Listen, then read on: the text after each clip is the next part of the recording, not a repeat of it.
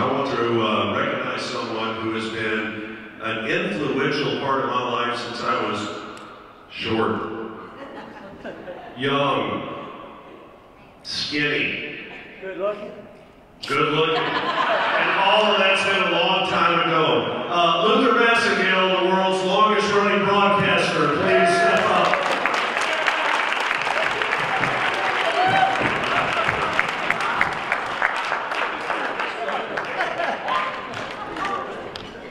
Um, if I'm elected, I. Uh, yeah, that's.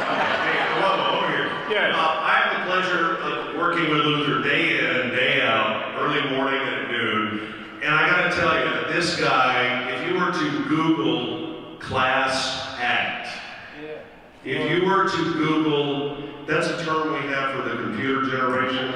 If you were to Google gentleman, if you were to Google man of honor, Luther Masingill is what would show up in all Oh, cases. Luther, we didn't have these last year, but I would like to present you, since you were among our first inductees, with your medallion into the Tennessee Radio Hall of Fame.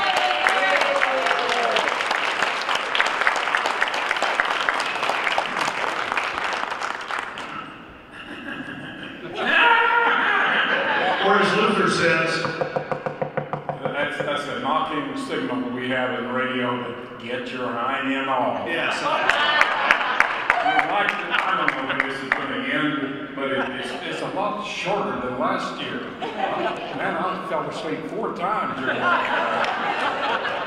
You're going fine? Is it not over? it's about over. We're close. Thank you so much. Ladies and gentlemen, the longest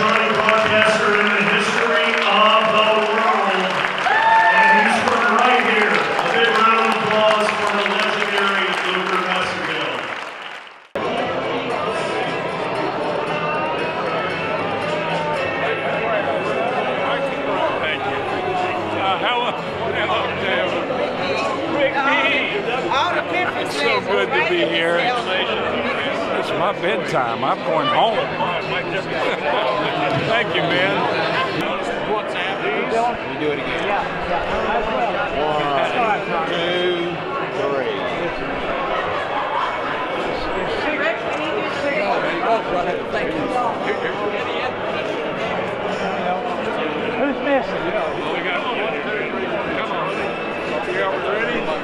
Oh, I'm sorry. All right, everybody get your cameras ready.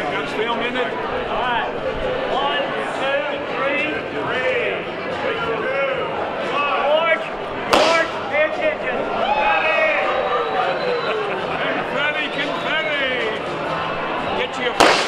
Oh, man, there's some more of it coming down. Flash through there. He's gonna mess up my hair. Yeah.